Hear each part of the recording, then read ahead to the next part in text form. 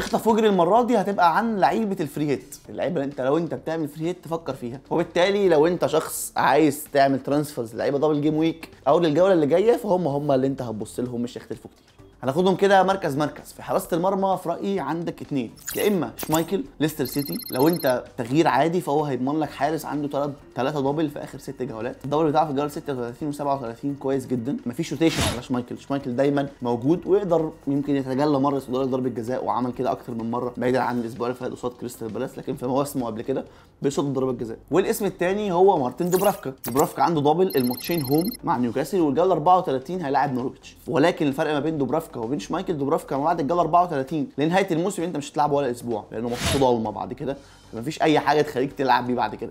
شمايكل هتكمل بيه من الجولة 33 لآخر الموسم. طبعا لو free hit وأنت بتفضلني ما بين الاثنين هقول لك تفضيلي بس بعد ما نتكلم في خط الدفاع عشان ليه علاقة بالقصة. دي طيب أبص على مين في خط الدفاع؟ طبعا كده كده عندنا الخيارات ال premium اللي هي كانسيلو واحد من أرنولد أو روبرتسون دول كده كده ما ينفعش ما تفكرش فيهم. تحديدا كانسيلو إنه بيلعب home قدام آه، برايتون الجولة دي. فلو الدنيا مشيت بشكل طبيعي في دوري الأبطال ثم في في الكاس بعد كده هيكون موجود كانسيلو قصاد برايتون. الخيار الثاني في رأيي هو واحد من شار أو دان بيرن أو تارجت. لعيبة نيوكاسل. طيب هتقولي دول ثلاثة أنا عايز أختار منهم واحد. أنا بالنسبة لي فابيان شار أو تارجت. تارجت عنده ميزة إن هو أكتر لاعب صنع فرص في آخر ست جولات تقريبا من خط الدفاع طبعا. فابيان شار هو دايما bonus magnet. لو ما خدش الإنذار اللي هو بيحب ياخده قوي ده بيبقى bonus magnet بيزيد كويس قوي بيقدر كمان يلعب فاولات في بعض الأوقات فممكن يكون option كويس جدا. فبالنسبة لي واحد من دفاع نيوكاسل موجود. لو أنا عايز أغير في حاجة هو التغيير هيجي من هنا. لو أنا مثلا جبت شمايكل يبقى ساعتها هجيب تارجت أو آه، فابيان شار أو دان بيرن. حسب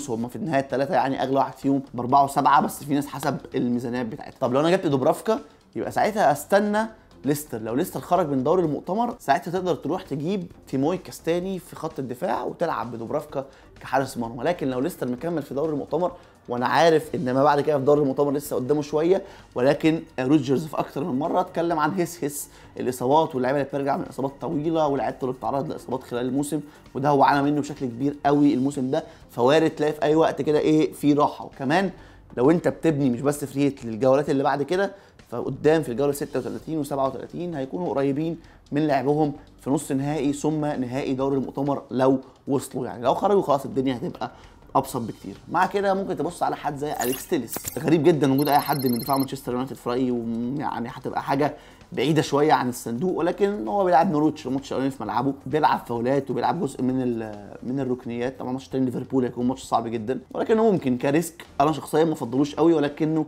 لاعب تقدر تحطه تحت اختياراتك أو تحت الحاجة اللي أنت بتفكر فيها. طبعا وارد جدا تبص على مدافع زي بن وايت واحد من المدافعين بتوع أرسنال عنده ساوثهامبتون وتشيلسي. ممكن يطلع واحد clean sheet من الماتشين يبقى أنت استفدت بيه ويكمل معاك برده لقدام. خيارات كتيرة وهنتكلم في خيارات كتيرة وبعد كده يعني هنصغر القايمة كده. لأبرز 11 أنا شايفهم في ال dream team بإذن الله. في خط الوسط عندك أربع أسماء قوية قوي بصراحة. عندك سون صلاح دي بروينا وبرونو. طبعا أنت مستحيل تجيب الأربعة لأن أنت هتختار منهم اتنين ومعاهم كين قدام. برونو هو الوحيد اللي double فيهم. صلاح بيلعب يونايتد home.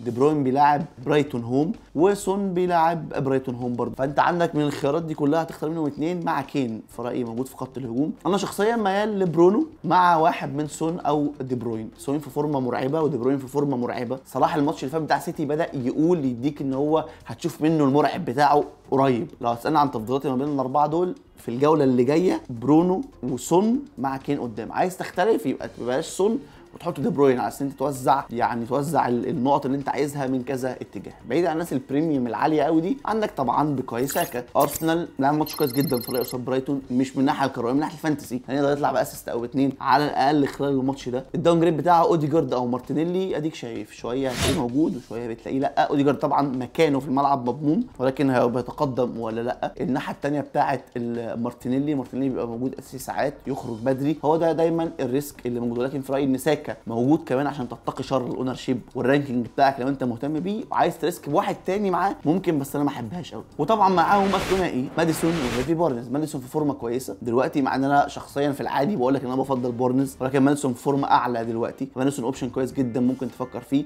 ممكن تفكر في الاثنين مع بعض عادي جدا على اعتبار إن هم دبلاتهم بعد كده كمان أسهل. زيادة ال risk أو ال push عليهم في ال risk ده يعتمد على هم هيحصلوا إيه في دوري المؤتمر. وفي الهجوم الاسم الأول هو طبعا هو هاري كين. معاك بقى ثلاث الاختيار التانيين رونالدو لو انت مش عايز تجيب برونو أو لو انت واثق في رونالدو ان هو يقدر يعمل حاجة في الماتشات دي. وعندك اتنين يا إما كريس وود يا إما ألان سان ماكسيمان من نيوكاسل. وأنا بالنسبة لي أفضل كريس وود لأنه كمان معاه option ضربات الجزاء.